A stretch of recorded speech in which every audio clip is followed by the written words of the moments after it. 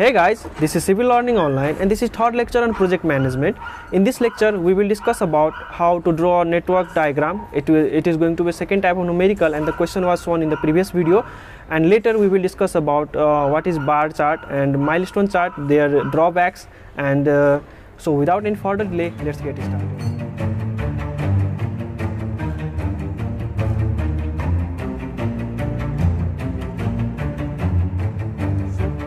Begin our today's lecture with the solution of the question which I have shown you in the previous video of this uh, series. And uh, I hope you have tried this question by yourself. And uh, now I am going to provide show you how to draw the network diagram of this following question. As I already told you that uh, the question will be provided in the exam in the two types. And the first type I have uploaded it in second lecture and this is third lecture. So let us uh, begin the solution of this numerical and first i first of all i am going to read the question and as per the question it says that a construction project consists of 12 activities. The predecessors relationship are identified by their nodes number as indicated below so before beginning the solution of this numerical, first of all I would like to tell you about what are predecessor activities once again. Predecessor activities are those activities which are to be performed before the commencement of another activity. These activities are to be completed. Once these activities are finished then only we can start uh, next activity. So now we are provided with the questions. We are provided with activities up to starting from a to l and uh, it is indicated uh, as the node these are the node indications. So now let's dive into the solution. And while solving the numerical in exam try using pencil. Uh, so i'm going to do the same. So first of all we are we have provided with activity a. So each and every activity has uh, ha begins with an event and ends with an event. So uh, i'm going to draw a circle here we all know that an event can be denoted by a circle. So here it is 1 and from here the activity a has started which will terminate and make event 2 so here we go. This is our event 2 and this is our activity a. Now uh, we are also provided with the identification that activity a has two nodes 1 and 2 so activity a has two nodes 1 and 2 now from uh, node 2 we will have three activities starting. As you can see here from node 2 three activities are started b c and d. So we will draw three lines here for three separate separate activities which are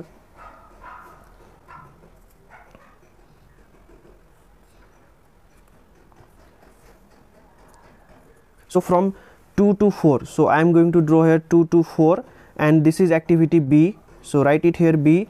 Similarly we have another activity that is 2 to 3 sorry the uh, activity C is uh, commence has two nodes 2 and 3 so 2 and write here draw here 3 and this is our activity C. Similarly we have another activity that is D which starts from event 2 and ends with uh, endpoint 7 so here we go and that is this is act our activity D.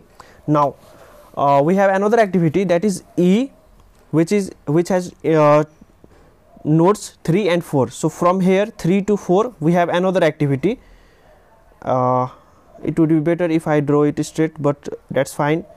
Draw line here. And this is our activity E 3 to 4 now uh, we have another activity that is F commencement uh, starting from 3 to 5 so from 3 we will draw another node that is 5 so draw it here draw a circle again and 3 to 5 is f activity f.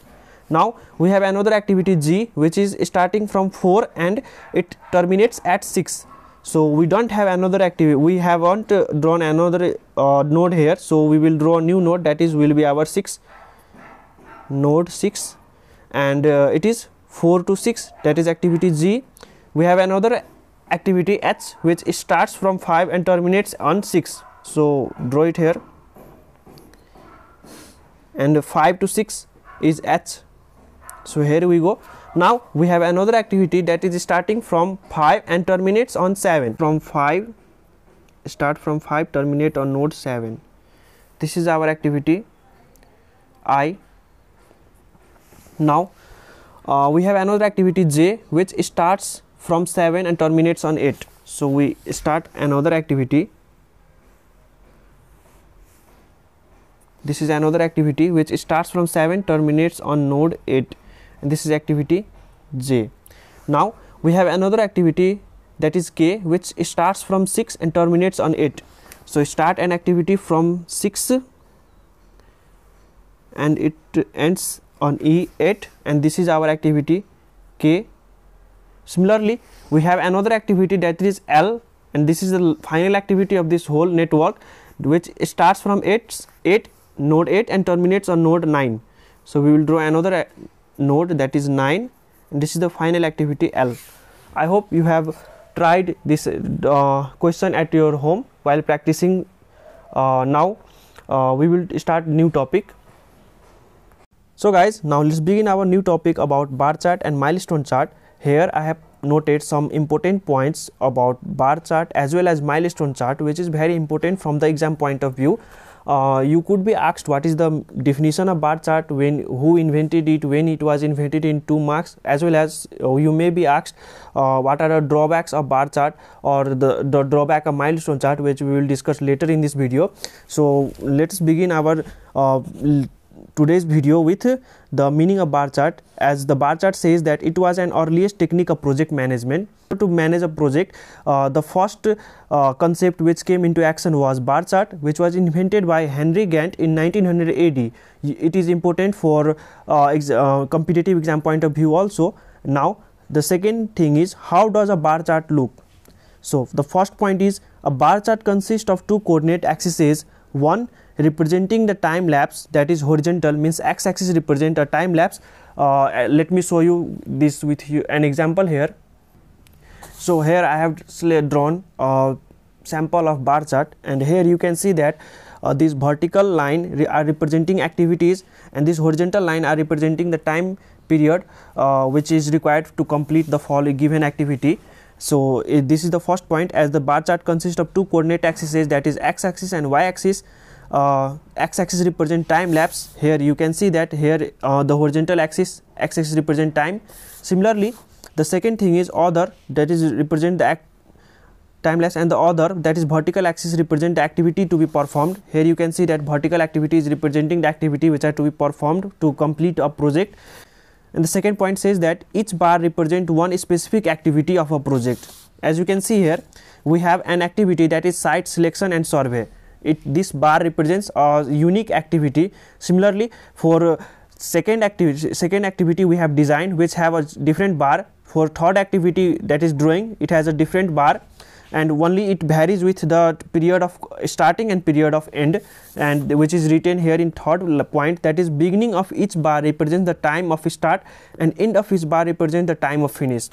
Suppose uh, here in time period this is uh, denote this denote weeks first week second week third week they, then uh, here here this line represents the beginning of the site selection survey which is to be completed in which is completed in fourth week. I hope you understood. Second thing is design.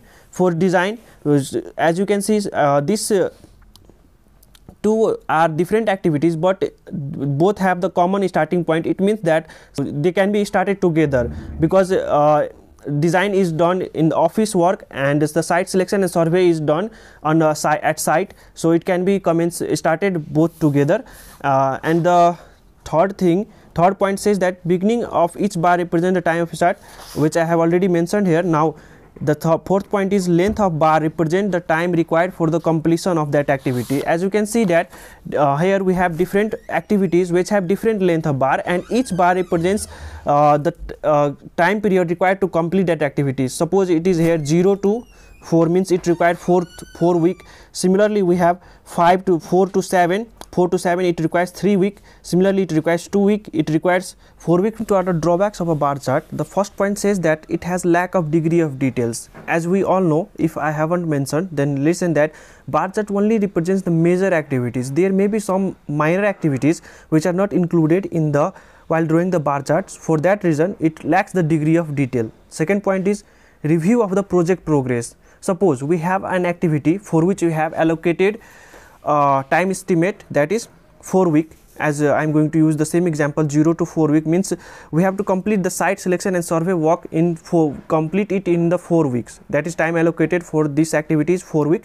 And there may be uh, at the end of the 4 week we may come to know that we have completed the work of we from the work of 2 weeks for that reason we cannot uh, it lacks the uh, the degree for which we can review the project progress. We have no idea about the pro project progress. That is the drawback of bar chart. And the third point is activity interrelationship.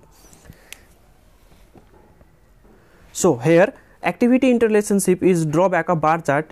It is because uh, suppose we have two activities which have which have same starting point and different end points. And uh, it while drawing bar chart we also draw that two uh, two congruent activities in a parallel way lines. So uh, in the in in that case uh, there may be in, a, an, activity we may have large number of activities which are running concurrent. So we need to draw parallel lines. In that case it is going to create confusion. So it is drawback. Activity relationship is drawback for bar chart. And the fourth point is time uncertainties. Uncertainties is drawback of bar chart because uh, we are un unaware about the we have just allocated the time for completing completion of an activity but we are not sure that uh, due to the lack of uh, the degree of details or the project progress uh, we are uncertain about the time uh, we, within which the activity has chances to be performed. Now let's move to our the milestone chart. To the drawbacks in bar, bar chart new chart came into action for the project management which was bar chart. The uh, the first point says that bar chart is the modification over the original Gantt chart. Period of modification is not mentioned uh, and the second point is milestone are a specific point in time which marks the completion of certain portion of the main activity. Means uh, milestone are basically points which marks the completion of uh, the main activity that's major activity. And it has one drawback that is its inability to depict the relationship between the milestone of different tasks. As we all know that milestone is the point of time in which the activity is completed. So it does not establish relationship between the milestone of different tasks. That is the drawback of milestone chart. Now let's see a question. And uh, i have also drawn the example uh, bar chart of this diagram. But actually you may not be asked to draw the bar chart in exam but it is necessary to know how uh, the bar chart looks. So here we have an activity a b c d e f. And that is a activity a represents the selection of the site survey b represents design c preparation of drawing and the time com for completion. Means it is the time allocated for so in which in which we have to complete these activities. And uh, if we draw this question uh, solve this question then uh, we will have this solution. I have shown it here. The solution of the for given question here. And uh, if you are asked to draw the bar chart of for some activities then you have to draw it in similar manner. Big, start from top to bottom. We have to move from top to down uh, and the starting period will be 0 and uh, site selection and survey and design can be uh, started to, together. So it both will start from week 0 and their end period. Similarly uh, we have fourth one that is drawing. Drawing can be completed. Drawing and design can be first of all we need to design then we can draw it. So it has a starting period 4 to 7 similarly specification and tendering drawing after it can be started when the once the drawing is about to finish. So here we go. And uh, once the specification and tendering of document is completed then we will start tendering. We have completed the specification of tender document. Then we start uh, tendering. Once it is completed so we started. Now uh, after tendering we uh, do the selection of contractor to perform that project. So here we go. Selection of contractor. And after selecting the contractor we award the work order to that contractor. Uh, so this much in this lecture. So thanks for watching this video. And in the upcoming video i will discuss about what is dummy activity and how how to calculate the time estimates in project network. And uh, so uh, do like and share this video. And till then stay safe and take care of yourself. See you in the next video. Bye